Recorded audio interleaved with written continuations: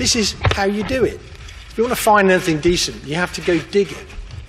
And um, this is Rob this Andy's youngest son and lookalike. And um, I mean, really and truly, that answers my questions, doesn't it? Why go caving overseas? Why wouldn't you? Why would you want to do? Why would you want to do that when actually you can buy an airline ticket and you go to somewhere like Sarawak and you can walk into something like this? And so, two years ago, no CCCs in the UK until Robbie Shone and Tom Chapman and myself went to Wookey Hole after Hidden Earth. And we were going to visit the newly open Wookey 20. And walking along, and Tom says to us, Watch out for the white stuff on the floor. We don't know what it is, but we think it might be old bat guano. And we looked down, and this is what we saw. And I kind of went, Oh, yeah, okay, and just kept on walking. And Robbie went, No, wait, Gina, look, it's CCCs, which any of you who knows Robbie is not very scientific, and I just ignored it. So it, it was quite wonderful, really. Caves are dark. When we take a photograph, it takes a lot of time to get the, the light in there. So we've got Nicky Bailey. What in it is dark, illumined. We've got Russ Brooks in his happy realms of light. We've got Mark Berkey, who, in a sudden view, appear the secrets of the hoary deep. John Cordingley, who can make a heaven out of hell with his photography. These tower cones are, are quite unique.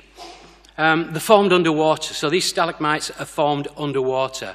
And this is one of the best examples in the world of these tower cones. And they're only formed in these giant gour pools that you can see here, these giant gours that are here. This passage here is about 85 metres wide, and there's about a thousand of these littered throughout the cave. They asked how much cave was actually within the SSSIs, and that made us realise we didn't actually know how many caves there were in Britain. Uh, in those pre-internet days, the only way to find out uh, was that I, uh, I had Paul Hardwick as a, an assistant, and he basically, we went out and we bought a copy of every guidebook that there was. And uh, if there are any um, young Earth creationists in the audience, well, I mean, one of the things that one can uh, do is to say, take, take a bottle. There's a bottle that's been sectioned. Put that bottle in a cave. Uh, this, this one's in, in France. And just leave it there for 20 years. Take the bottle out, slice it, and there we've got, you know, we've got 20 years of growth. We can see these layers, and we can prove that they are annual layers.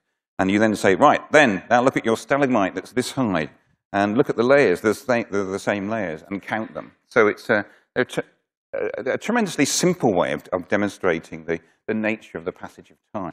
Uh, I'm going to talk a bit about the re-excavation of some of the old, well-known cave sites. Um, John Gunn mentioned some of those at Creswell Crags in uh, Derbyshire, Nottinghamshire, um, and says some of the reasons why we are revisiting those sites and recovering uh, more information. New one. Around about 1900, there were uh, three open caves on the Mendip Hills. Caving wasn't really big.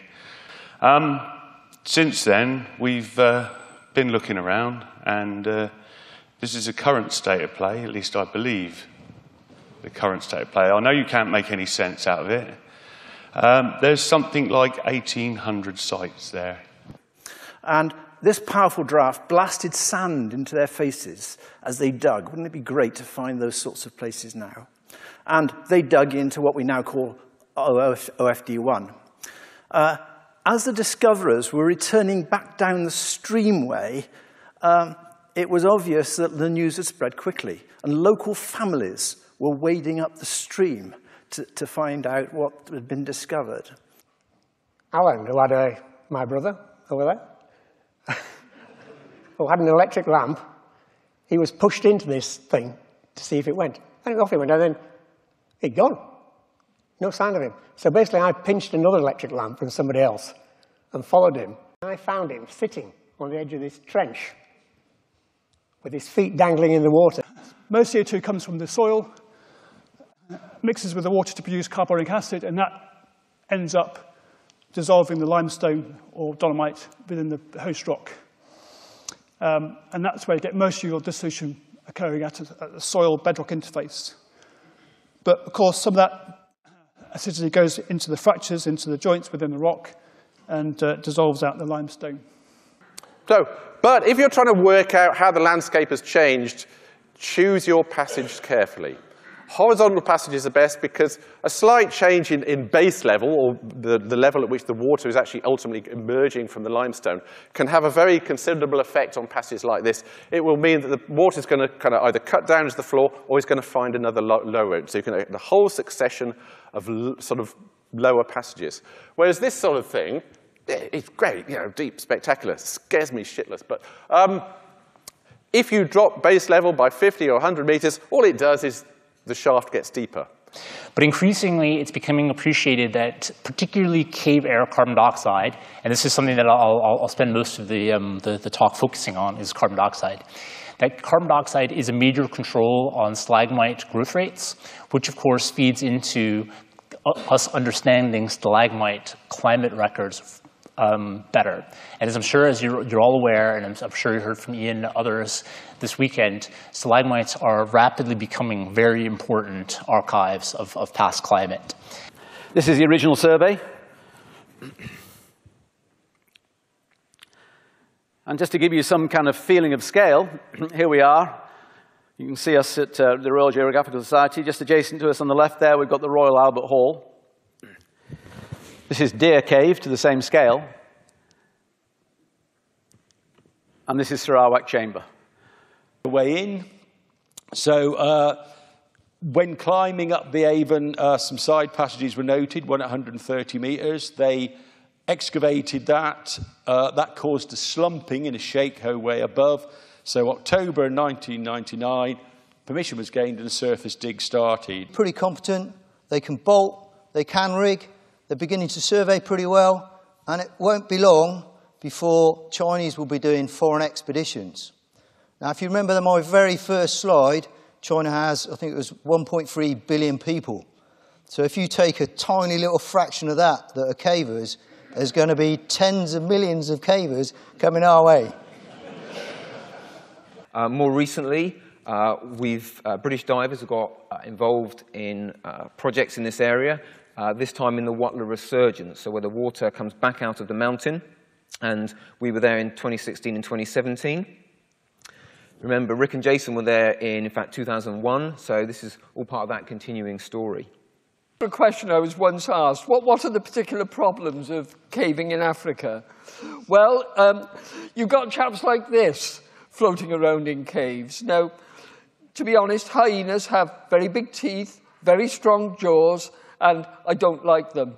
But fair's fair, the only time I've actually met a hyena in a cave, family of four, they backed off quicker than I did. She tells me with authority, being an arts student, um, that it's now 270 kilometres long, which is pretty impressive. That's all underwater.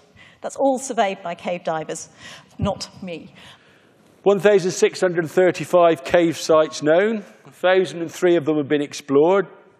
648 kilometres of survey passage, and Megalair seems to keep on giving, which is great. The Yorkshire Ramblers came over, and they weren't long to, uh, to in getting into Noons. Extraordinary in their uh, jackets and puttees and things going down this, and it must have gone a little bit like this. This is a recreation done uh, around 1982, something like that. Enniskillen has boats on Lough Erne and is not without ship's chandlers. So a ladder of some 105 feet was constructed with rungs cut and bored at a local timber merchant's.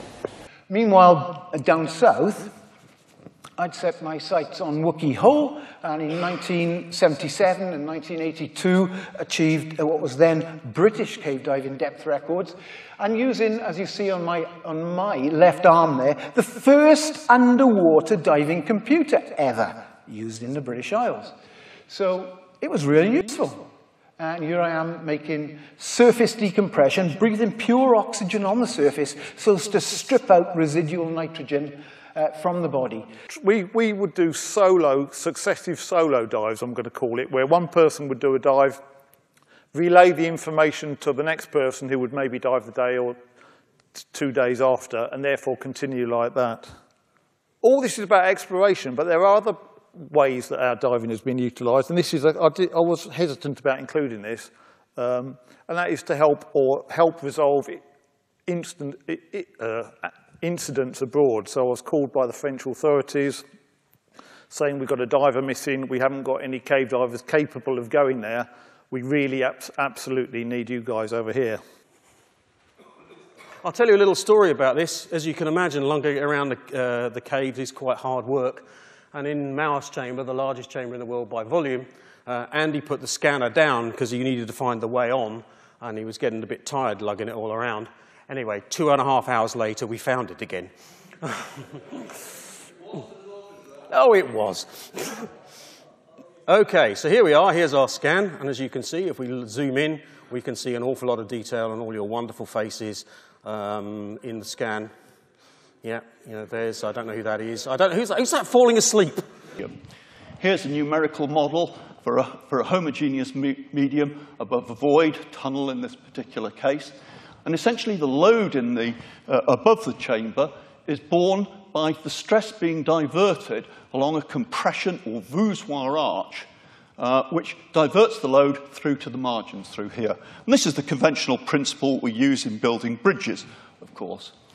So this is what happens in the book. They've just got through this very long, deep and dangerous sump, and um, they've set up an underground camp, planning to push for several days in this extraordinary system. And so Bill, as you would, offered Barbara a back rub. Sure, she said, rolling over in her sleeping bag. you can read it.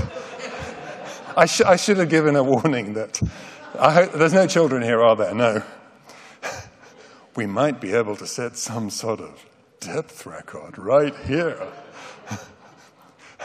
well, perhaps they do hold that record.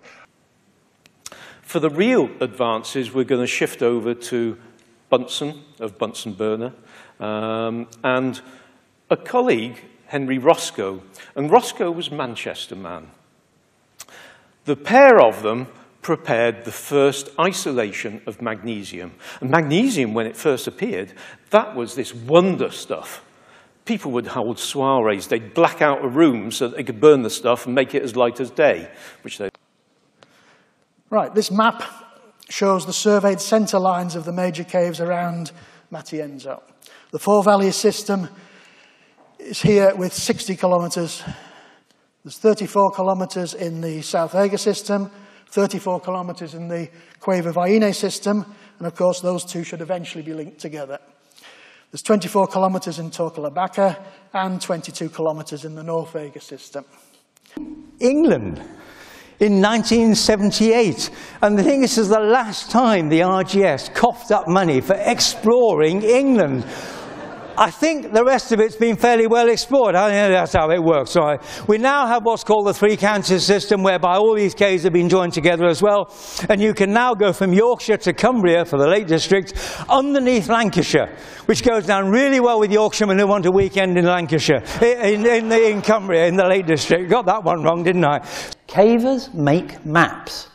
It's an intrinsic part of caving, and somebody who spoke towards the end of this two-day epic, or two-and-a-half-day epic of lectures that Andy told you about at the very beginning, said in, in, on a video of original exploration uh, in, in Spain, I think, how are you getting on? Because if you don't, it doesn't exist if it's not on the survey. In other words, they were, in that case, surveying uh, compass and tape and clinometer and so on, as they went along into this never before seen cave passage. So this is Lechuguilla Cave. It's over 200 kilometers long. It is one of the deepest caves in the United States. It's over 500 meters deep, and it was all built by microbial activity. So the microorganisms would burn the hydrogen sulfide to make sulfuric acid. That sulfuric acid would react with the calcium carbonate to generate gypsum. And there's lots of evidence of this microbial activity. This is the gypsum that's left behind from the microbial activity um, uh, within the cave. There's huge piles of it that we, we have to climb over. Um, it was a wonderful evening, combining science, passion, adventure, and the applications that bring geography together. So please join me in thanking our speakers this evening.